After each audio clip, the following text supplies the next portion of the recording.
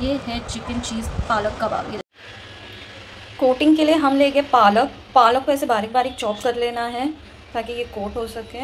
और इसको थोड़ा सुखा लेना है। इसमें पानी बिल्कुल नहीं होना चाहिए। नहीं तो ये अच्छे से कोटिंग नहीं हो पाएँगे हमारे कबाब में ओके अब हम बोनलेस चिकन ले लेंगे उसमें डालेंगे आमचूर पाउडर ज़ीरा पाउडर एक चम्मच धनिया पाउडर आधी चम्मच थ्री फोर्थ चम्मच सॉफ्ट पाउडर एक चम्मच अदरक लहसुन का पेस्ट सॉल्ट अपने टेस्ट के हिसाब से, और आधा चम्मच गरम मसाला।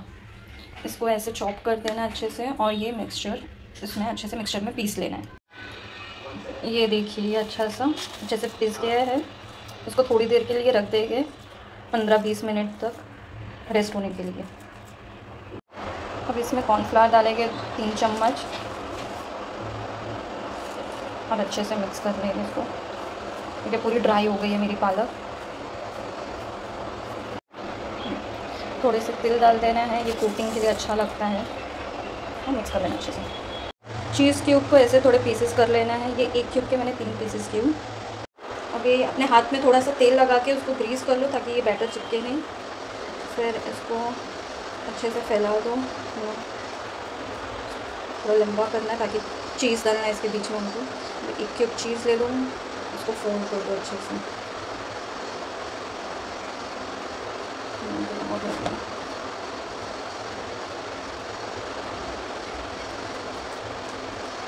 अच्छे से कोट करना है ताकि फ्राइंग के टाइम पे चीज़ बाहर ना निकले, नहीं तो तेल पूरा ख़राब हो जाएगा।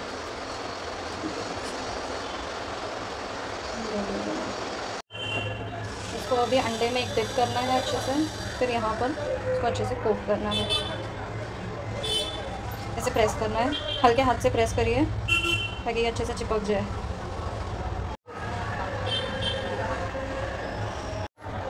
ये देखिए रेडी हो गए हमारे कबाब्स। अब इसको डीप फ्राई करूँगी